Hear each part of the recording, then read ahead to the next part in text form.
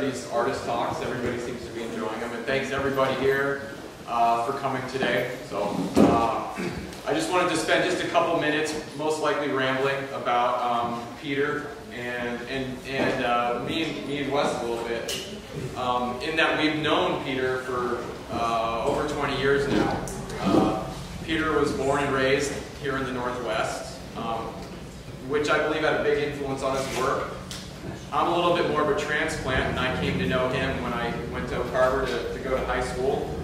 First met each other, and uh, then I went on to uh, college in, in Bellingham, and that's where I sort of really got to know Pieter. Um, through the sort of the young scene in Bellingham in the, in the 1990s, and through snowboarding, and um, he was just this interesting guy that was just sort of there, um, I guess a little bit on the fringe of my life, which was going to art school in, at Western Washington University. Um, we shared a great mutual friend named uh, Gunther Frank that was going to art school, and so we kind of all got to know each, know each other there. Um, and, uh, you know, life, life went on, and um, Pieter went on to do many things which I believe had a, had a great influence on his artwork.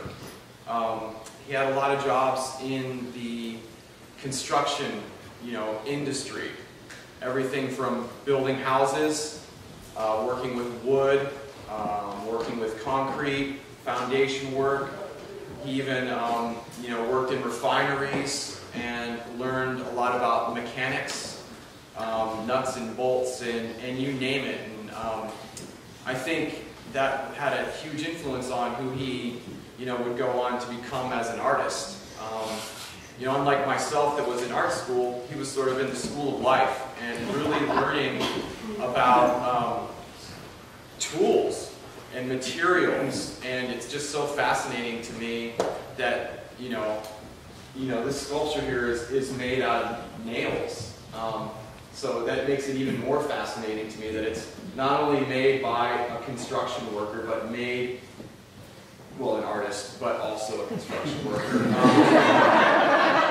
Um, clearly an artist, you don't have any question about that. But made from the materials that he worked with regularly. Um, you know, he also worked in manufacturing and um, in, a snowboard factory. And that's a place where a fella like learns how to deal with, with repetition. And, um, you know, he had, you get the patience in doing work like that to make these, bend all these nails. And, and I would watch him sit here in the gallery with, with our, our gallery folks and bending nails for hours and hours and hours and hours. And then he would put it together into these amazing pieces of artwork. Um, so that's um, I just wanted to say a little bit about how I felt about how he came to, to become an artist and how these things sort of influenced um, influenced him.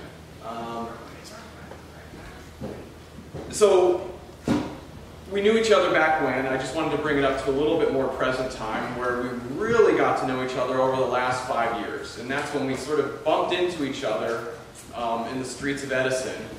And um, what are you up to, Pete? Oh, not much. And I can't remember whether I said, hey, are you looking for work? Or if he said to me, do you have any work? For, um, but either way, I don't know how it went. Pieter started to work for me and Wes in our, in our cabinet shop, in our wood shop here. And, um, you know, since that time, we really got to know Pieter because he's like a fantastic carpenter and construction worker. And um, we would well now, instead of just being acquaintances, we were really working together on a, on a daily basis, and it's been a real, a real pleasure to work with him like that. He's been an incredible person to help build um, a lot of the things that we build and to work on these buildings that we have in the gallery and he helped put the ceiling in here and some of our other projects. He's been amazing like that. And, and in our, our time together, I, I started noticing him showing up to the shop after work and started, you know, building these amazing little projects. And I was like, oh, what are you, what are you up to here? And he's like, well, I'm, I don't know, I'm just doing.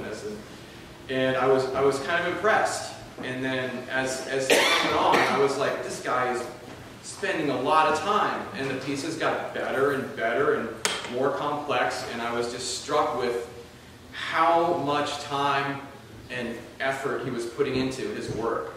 And I was very impressed by also the quality of the work. So, you know, I asked him to be in one of our group shows, and he, he produced a few amazing pieces, some, some robots and some spaceships, and, and then he made a, uh, a bonsai tree out of um, top ramen noodles. That's when I knew. so I thought, you know, this is somebody that would be interesting to like see if they wanted to take his, their artwork to the next level. So I offered him kind of a more major show, a two-person show, and that was a big success. And um, then again, he had another two-person show last year with Mandy, and that show was a huge success. Um, he just always brought it. He, he did the work, which is the main thing, and he, he really brought it, and it, it went well. And so here we are with kind of major show uh, number three from Pieter. So it's, it's always exciting.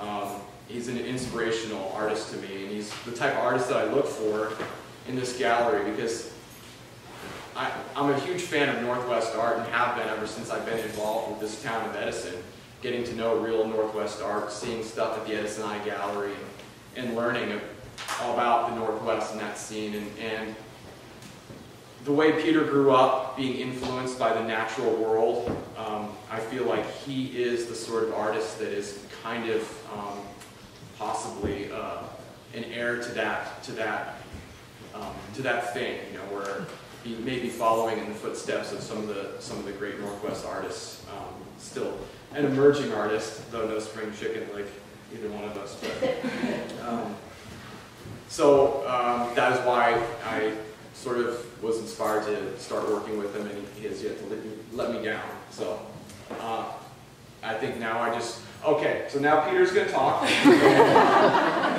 That. And I wanted to encourage you all. I think he's going to talk a little bit about his work, but then want to leave time for questions. So I would want to encourage anybody that has questions about his artwork, his materials, his techniques, his history, anything at all, um, please think about those questions a little bit and, and be ready to ask them. Pieter VanZanden.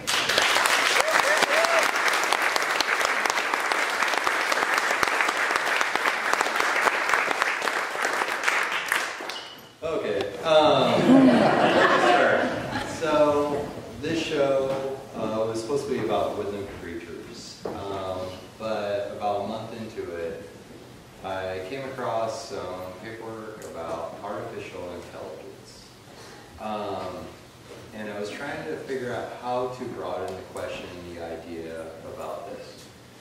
And the show is about adaptation of animals to their environment and how they react to their environment and how they change to survive.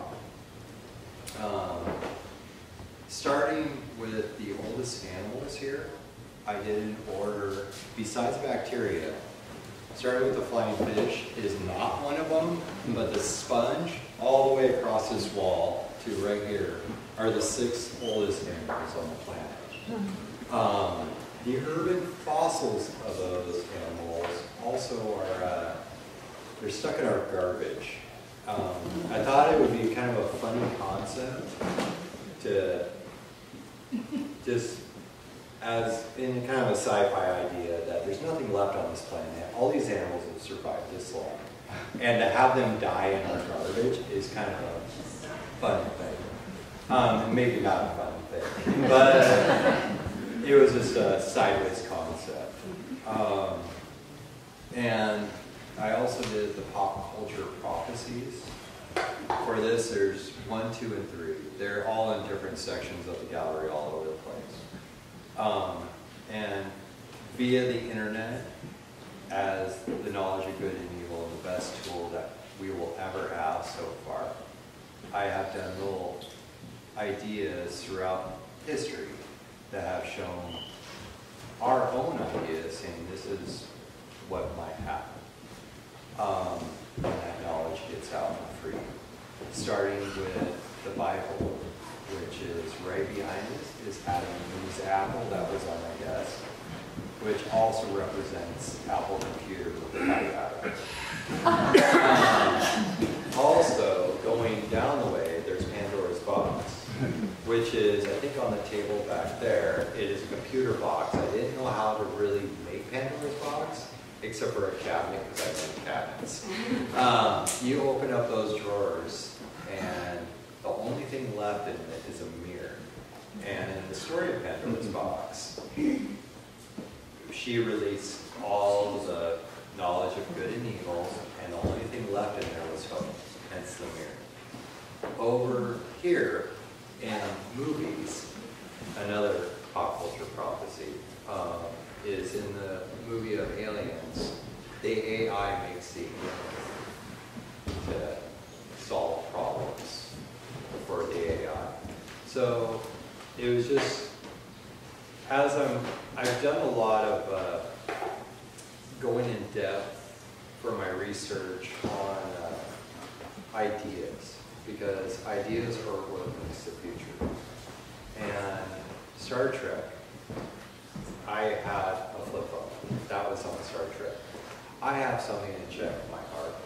That's on my smartphone. I'm learning a lot of, of these ideas that we have created with sci-fi are coming real. And so as soon as I start going to movies, I'm seeing what the newest ideas are. So once or twice a week, I will go watch what the latest movie is to see where our ideas are going. Which is another idea of AI on the way that it started even before Asimov, but further. Um, also, during my research too, I came across these conferences they're having on rules and regulations. Um, over on my desk is the 2017 conference of AI and trying to make ethics, rules, and regulations on that subject. And all the people that are on the wall are PhDs, owners of companies from around the world that are worried about it. I don't want people to lose sleep over this, but I want people to think about it, because it is there. Um, that is a major emphasis of my show, and I'm not gonna tell people to believe one way or another, I want them to think for themselves. But a lot of my research and development has just given me massive questions about where we're going and what's going on. Um, other than that, it's up to everybody to figure out which way to go. Um, other than that, I guess I'm pretty much done unless there's questions.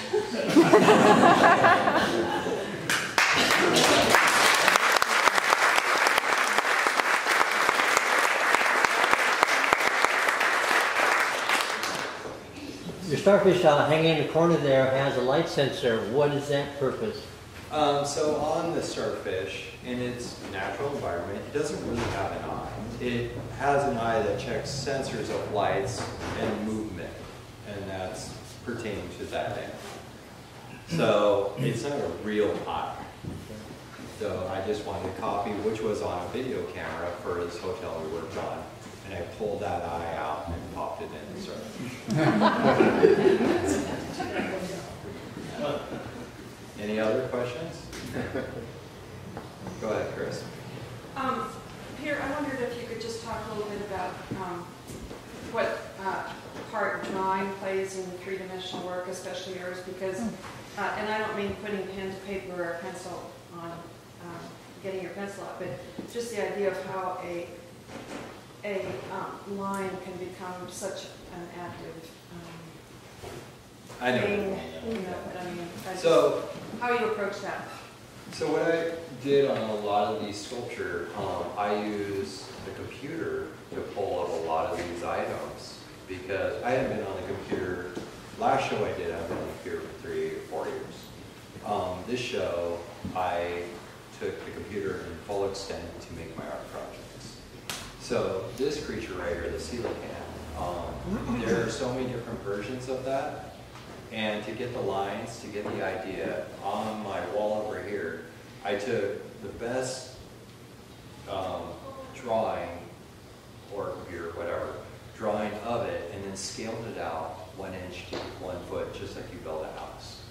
And then I did the whole bone structure, so this thing would be matching five foot five, because I knew when I read about it, they're six foot six. I drew the whole thing out in nails around, at first I drew the whole project, built the project to the drawing, and then puffed it basically out for the three-dimensional observations of different pictures of this animal, for thickness, width, and everything. So initially, all these projects are first becoming with a line drawing.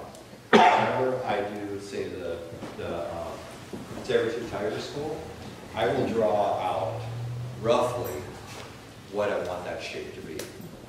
And then once I get that drawn out, then I just tear away out to, out of it, and then add more circles and stuff to bring that shape into itself. Just drawing on the, on the wood itself. On the wood. And then I do any sketching? And sometimes I will do a sketch of the projects, really rough with a marker on whatever I can find, just to get the idea. This one, I had to cut away my drawings uh, to hold all the bones in place. So all these bones inside of here are floating, no armatures are holding them. But before I built this, I took it to my drawing and had it to the scale of my drawing to match it. And then did armatures to it and then had an outline around the whole thing. So when I was doing the scales, I would slowly cut away and then weld and then add the scales to it was structurally feasible. So this thing was built, rebuilt, and then built. The only armature that's holding anything is on the eye bones. There's one nail. Um, any other questions? How many hours I don't count by hours. um, that? Any money? Because I have no idea. Um, This, this was two to three, I guess, at the end. Yeah, but I, I also do other projects in between as I'm going, I think I'm going crazy. So, like the chewing gum project over there, um, that was being built as I was building other projects, because I that much gum.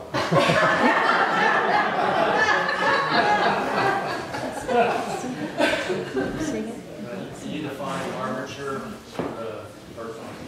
Uh, armature, um, basically, I need to make some kind of structure to hold the structure until I get the other structure built to hold it, the real structure. So, basically, I make little sticks to hold everything that are welded, and cut those away, or snip them as I everything. So, Sorry. it's okay.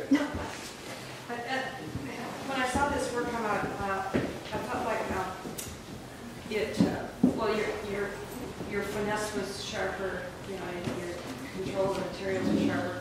And are, but it has a um, really dynamic tension between uh, its, uh, its elegance uh, without losing that kind of scrappy industrial edge that I presumably want people. So my question is, is that a delicate balance or is it just you're following it? Well, what's going on, um, I think you're talking about my crustiness, kind of a little bit real.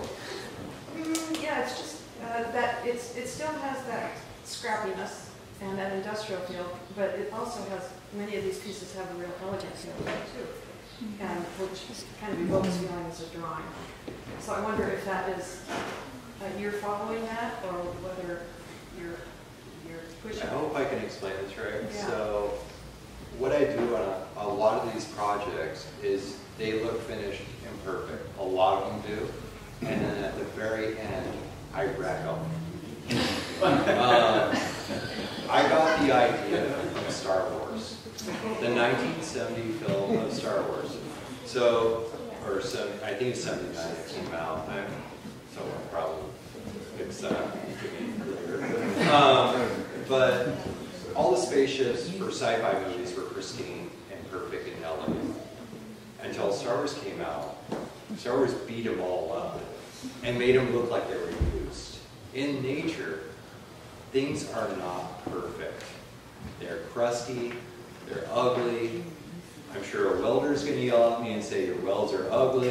Um, I'm okay with that because that's what I want. I want to have the speckle. I want the chunks. I want the blob. I do not want it clean. And I want that to bring out my work. Because I want these animals to look used. I want to make it look like they were living. So sometimes on some projects, I just light it on fire and then go with it. The, the, it was pretty funny because the locust right there was beautiful, shiny, bright colors. Um, I got those ties from James. It looks like he eats a lot of organic vegetables. Um, and it wasn't right when I got done at the camping trip, so I lit it on fire. And it went camouflage, perfect, just like a locust. So a lot of my stuff, you will notice like, oh, wow, it looks like he just kind of built it crummy. No, I do a good job and then I make it crummy. so yeah, that's just the way I do it, and I got it a movie I like. so, go ahead. So I agree with Chris that even though you've destroyed them, so to speak, they are, they're glamorous, they're beautiful. Thank you so much. Yeah, I think, um, you know, Pieter's work succeeds so well because he has um, such excellent um, observational skills. And again, this sort of ties into my, my love of Northwest art and that influence on him. But he studies nature um, so in depth and he gets the proportions perfect. So he does, he gets the important part perfect and then, you know, he, he works with it, makes it crusty or whatever you want to call it. But that only succeeds, that creates that tension between this is a perfectly, the form is perfect, the proportions are perfect, and then you have that little bit of patina or crustiness to it, it, it only, it enhances it because the, the underlayings of it is, is so spot on. Uh, Would you like to elaborate a little bit on the, the history of the graffiti and the dragonfly? Okay, I knew this was gonna come up. So, that, I have a friend that got me a piece of a building that they were tearing down in Seattle. That is a piece of the wall that was graffiti. I pulled the paint off the piece of the wall that he gave me. It was a fiberglass wall with a foam backing that was the wall. And when I was grinding that, um, I ground the top layer of graffiti off and it melted all into one color. And so I thought about it, and if I used a really harsher grid, it would just tear into it. But what I noticed when it would tear into it, it would start flaking off all those little circles that were so pretty of the different layers. So what I did is I add lacquer between every layer while I was grinding. And then once we went back that, then I went in with a knife and a scoop that you use for printing. And then I had a lacquer between all those layers so it didn't delay. And then at the very end, then I just lacquered the whole thing about four times and said, there you go. That's it. Um, that piece was so pretty, I didn't want to do a very detailed dragonfly in it. I just wanted to give it that first possible feeling. And the drifts are amazing and everything. I didn't know what was going to happen with that until after I did.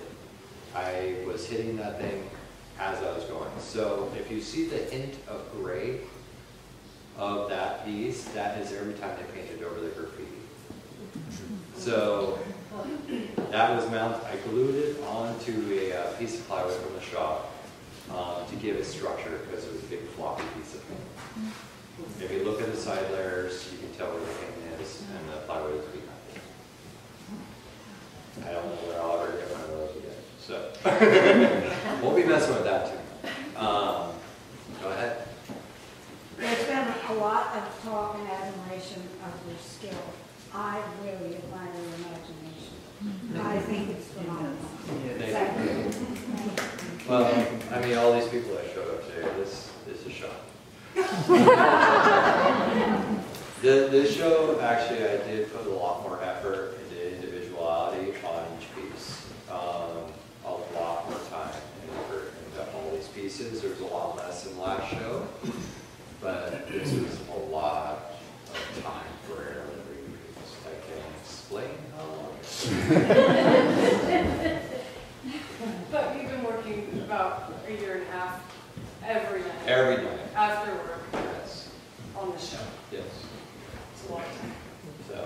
this is what I do late at night. Um, I want to thank my parents for dealing with that.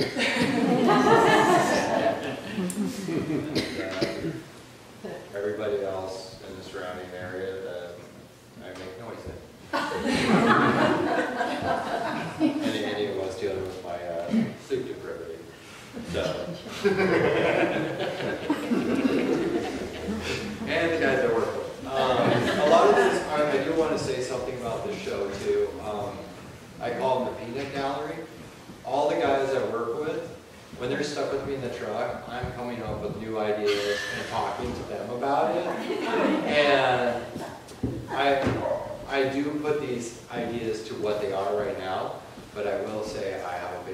it's not uh, I know they have